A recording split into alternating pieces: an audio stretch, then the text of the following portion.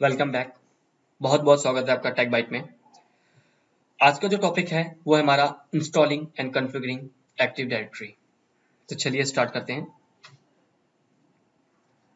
What is active directory active directory is kind of database use to store the information of users groups and computer active directory क्या, जो होता है, वो एक तरह का डेटाबेस होता है, जो कि आपके यूज़र्स ग्रुप्स और कंप्यूटर की इंफॉर्मेशन को स्टोर करता है। Centralize database of object active directory का जो डेटाबेस होता है, वो हमारा सेंट्रलाइज होता है। और ऑब्जेक्ट का मतलब है कि जो हमारे नेटवर्क में जो यूज़र्स ग्रुप्स और कंप्यूटर्स होते हैं, इनको हम एक्टिव डायरेक्टरी में ऑब्जेक्ट कहते हैं। सेंट्रलाइज मैनेजमेंट ऑफ़ रिसोर्सेज आप एक्टिव डायरेक्टरी के थ्रू अपने रिसोर्सेज को सेंट्रलाइज मैनेज कर सकते हैं। रिसोर्सेज से मतलब है कि आपके नेटवर्क पे जो शेयर फोल्डर्स होते हैं प्रिंटर्स होते हैं, इनको हम नेटवर्क रिसोर्सेज कहते हैं। इन चीज़ों को हम एक्टिव डायरेक्टरी के थ्रू मैनेज कर सकते हैं।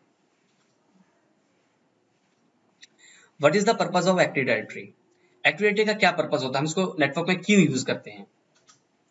A server running active directory domain services is called domain controller मतलब हमारी एक्टिव डायरेक्टरी डोमेन सर्विसेज़ जिस मशीन पे, जिस सिस्टम पे स्टॉल होती है या जिस सिस्टम पे रन हो रही होती है, उसको हम डोमेन कंट्रोलर कहते हैं। मतलब एक सिस्टम है, मान लीजिए हमारा एक सर्वर है।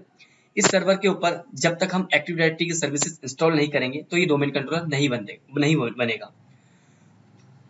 आफ्टर एक्टिव डायरेक्टरी इंस्टॉलेशन हमारा ये जो सर्वर है, ये डोमेन कंट्रोलर बन जाता है।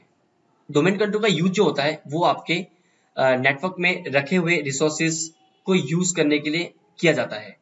Means it authentication and authorize to all users and computers in Windows domain type network मतलब डोमेन कंट्रोलर के थ्रू आप अपने यूज़र्स को ऑथेंटिकेट कर सकते हैं कि नेटवर्क पे रखे हुए यूज़र्स रखे हुए रिसोर्सेज को कहाँ से यूज़र्स एक्सेस कर सकता है।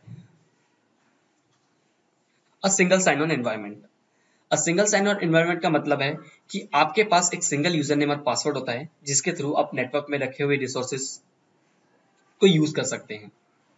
इसको आप एग्ज़ाम के थ्रू समझते हैं। मान लीजिए कि हमारे पास एक फ़ाइल सर्वर पड़ा है नेटवर्क पे। इसे ही हम फ़ाइल सर्वर कंसिडर करते हैं। इस फ़ाइल सर्वर पे हमारा कुछ डेटा पड़ा हुआ है और इस डेटा को एक्सेस करना है मुझे। तो इस डेटा को एक्सेस करने के लिए मुझे इस सर्वर के ऊपर कोई अलग से यूज़र नेम और पासवर्ड नहीं क्रिएट करना पड़ेगा। मैं अपने डोमेन एनवायरनमेंट में जो मैं यूज़र आईडी क्रिएट करूँगा, उसी सिंगल यूज़र आईडी पासवर्ड के थ्रू मैं उस डेटा को एक्सेस कर सकता हूँ। इसको हम एक अलग एग्जांपल के थ्रू भी समझते हैं। जैसे कि हमारे पास जीमेल की आईडी होती है हॉटमेल की आईडी होती है। तो जो हमारे पास जीमेल की जो आईडी होती है, जैसे example X Y Z at at Gmail dot com तो इस आईडी के थ्रू मैं फेसबुक भी एक्सेस कर सकता हूँ। इसी ईमेल आईडी के थ्रू मैं हमारा ट्विटर अकाउंट गूगल प्लस इस तरह के अकाउंट को मैं एक्सेस कर सकता हूँ। तो सिंगल साइन इन का मतलब होता है कि आप एक सिंगल यूज़र नेम और पासवर्ड के थ्रू आप नेटवर्क में कहीं भी लॉग इन कर सकते हैं। Use in large network environment obviously इसका जो यूज़ होता है वो बड़े नेटवर्क के लिए किया जाता है। मतलब कि जैसे कि अपने पास, मान लीजिए कि हमारे पास hundred of thousand of nodes का नेटवर्क है। नोड्स का मतलब हमारे नेटवर्क में जो नेटवर्क डिवाइसेस होते हैं, उनको हम नोड्स कहते हैं। तो जो नोड्स है हमारे पास, मान लीजिए 2000 नेटवर्क का नोड्स है हमारे पास। जो 2000 नेटवर्क का नोड्स है तो मेरे पास ये पॉसिबिलिटीज नहीं है कि मैं सभी सिस्टमों में जा जाके 2000 सिस्टमों में जा जाके मैं यूज़र आईडी पासवर्ड क्रिएट करूँ। इसीलिए हमारा एक्टिव डायरेक्टरी का यूज़ किया जाता है कि जितने भी यूज़र्स आईडी जो पासवर्ड्स होंगे, वो हमारे एक्टिव डायरेक्टरी में बनेंगे और उस आईडी के थ्रू मैं 2000 सिस्टम में से कहीं पे भी बैठ के लॉगिन कर सकता हूँ। Centralize group policy centralize group policy का मतलब है कि हमारे पास एक फीचर होता है ग्रुप पॉलिसी का एक्टिव डायरेक्टरी के अंदर जिसके थ्रू हम अपने यूज़र्स को कंप्यूटर्स को कंट्रोल करते हैं। आ, जैसे कि मान लीजिए कि मेरे पास एक यूज़र है और एक यूज़र जो है वो पेनड्राइव लेकर आता अपने साथ और डेटा कॉपी करके चला जाता है। तो इस तरह के रिस्ट्रिक्शन को रखने के लिए मैं ग्रुप पॉलिसी को यूज़ कर सकता हूँ। तो ग्रुप पॉलिसी एक फीचर होता है जिसका यूज़ अपने एनवायरमेंट में रखे नेटवर्क रिसोर्सेज यूज़र्स को कंट्रोल कर सकते हैं। चलिए, हम एक पिक्चर के ज़रिए सभी चीज़ों को समझते हैं। ये हमारा एक एक्टिविटी का एनवायरमेंट है, जहाँ पे हमारा एक पीसी है, एक प्रिंट सर्वर रखा हुआ है, एक फ़ाइल सर्वर रखा हुआ है, जहाँ पे हमारा डेटा वगैरह स्टोर है। एक ये हमारा डोमेन कंट्रोल है, जिसमें हमारी एडीजीएस की सर्विसेज़ जो है स्टॉल है।